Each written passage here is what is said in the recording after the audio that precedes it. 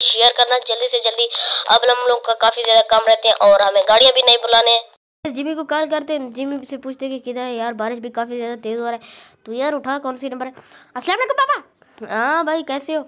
क्या कर रहे हो? पापा, बस वो शोरूम पे काम शाम कर रहा था, मैं और मामू। इसका मतलब है तो मैंने डिस्टर्ब कर गया नहीं नहीं, पापा, आप मालिक हो, पापा, ऐसे नहीं है सॉरी आप मालिक हो, पापा। हुक्म करें, पापा, क्या काम है? वो ना, ऐसे करो, तुम कल, बस आने वाली महीनों में ईद भी है और शॉपिंग वॉपिंग भी करना है, तेरी अम्मी को ले जाना है, ठीक है ना? तुम लोग को भी ले जाना है कपड़े शपड़े लेने के लिए। तो तुम लोग मामू के साथ आ जाओ, ठीक है? और मामू को भी कहो शोरूम को बंद कर दो बारिश की वजह से। अच्छा सुनाओ, कितने गाहक आ गए? पापा, कुछ नहीं है। वो बस कितने गाहक आए बता देना अच्छे से। बस पापा, कुछ नहीं है यार। पापा, वो ना पहले से कम आ चुके हैं, लेकिन बारिश की वजह से हाँ हाँ बारिश की वजह से कम आएँगे, क्योंकि तुम लोग शोरूम को बंद करो। हाँ पापा, बस शोरूम को अभी बंद करते हैं, आप जो कह रही हो। तुम क्या कर रही हो? मैंने, पापा, मैंने दो तीन होम डिलीवरियाँ कर ली है। अब तो गाहक भी ज़्यादा नहीं आ रहे तो इसलिए बस होंडा से भी रहता है, और तो सबके सब बेच के। अच्छा ठीक है ना, तुम आ जाओ, तुम लोग को मम्मा के साथ शोरूम पे ले जाना है। हाँ बस ठीक है, पापा। तो गाइज़ अभी ना हम इसकी माँ को ले जाते हैं, और बच्चों को भी ले जाते हैं शोरूम नहीं सॉरी शॉपिंग के लिए।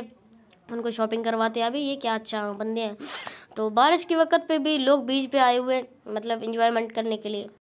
तो गाइज़ फाइनली मैंने इनको उठा ही लिया, लेकिन मेरे पास मंडा बैठी हुई है, लेकिन उनके बच्चे भी बैठे हुए हैं।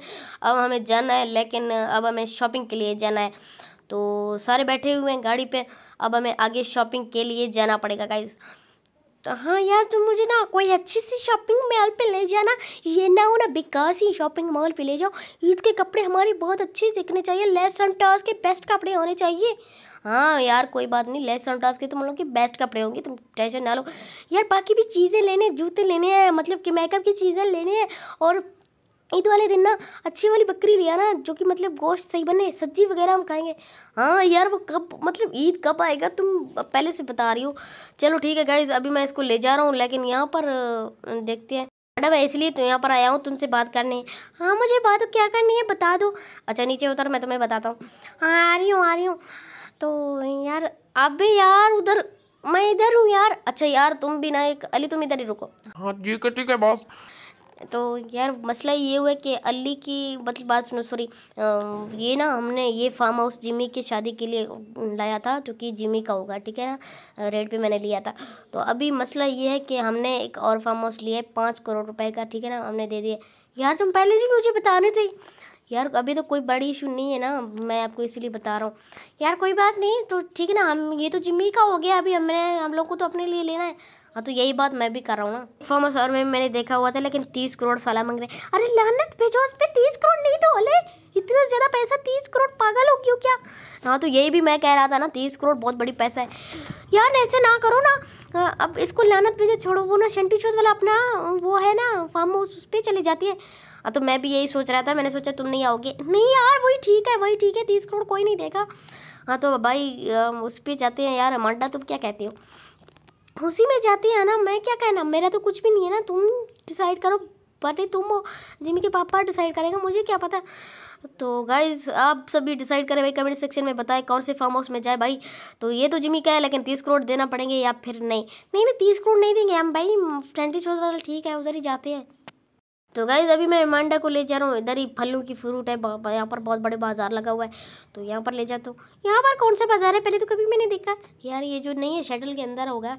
तो इधर ये यार, मैंने तो कभी नहीं देखा यहाँ पर कौन सा बाज़ार है। यार, वो ना रमज़ान बाज़ार जो लगा था ना, उसी जगह पर अभी तक यहीं पर लगा हुआ है। अच्छा ये काफ़ी तो बड़ा है।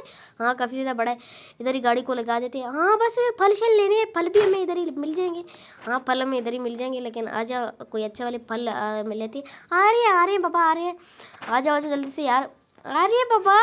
वो ना पैसे किसी को हो यार, तुम उसके पैसे की बात मत करो। यार, यहाँ पर मतलब गुंडे भी हो सकते हैं। हाँ सॉरी सॉरी तो भाई फलों का रेट तो यहाँ पर पूछते हैं। भाई क्या हाल चाल है? कैसे फल दे रहे हैं? इस सब फल तो सही रेट है मुनासिब रेट पे देंगे। यार क्या रेट है? यार ये तो बीमार भी कुछ ज़्यादा ही है।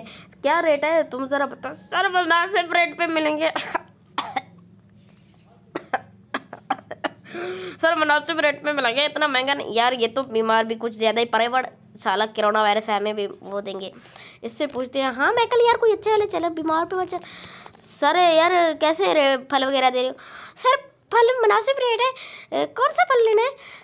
फल तो ये वाला लेना है, केला कैसे दर्जन दिया सर केला दर्जन है मतलब आपके लिए साढ़े दो सौ रुपये का। यार, इतना महँगा हमारे इलाके में तो मतलब बहुत सस्ता मिलता है। तोसा सिर्फ़ डिजी खान में ना बहुत सस्ता मिलता है डेढ़ सौ रुपये का। सर, आप लोग की मर्ज़ी है। सेब कितने का दे रहे हैं? सेब सर, वो ना साढ़े चार सौ रुपये का दे रहे हैं किलो। अच्छा यार, काफ़ी ज़्यादा महँगा है। तो मंडा अब क्या करें? यार, वहाँ पर जाते हैं, वहाँ पर देखते हैं, क्या चीज़ें और भी रखे हुए हैं, उनको भी देखते हैं। ओ भाई, यहाँ पर भी देखो टी शर्ट वगैरह